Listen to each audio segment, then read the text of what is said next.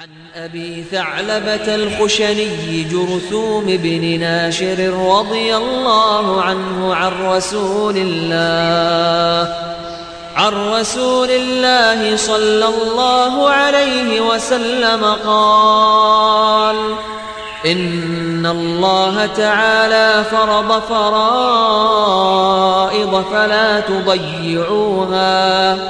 وحد حدودا فلا تعتدوها وحرم أشياء فلا تنتهكوها وسكت عن أشياء رحمة لكم غير نسيان فلا تبحثوا عنها.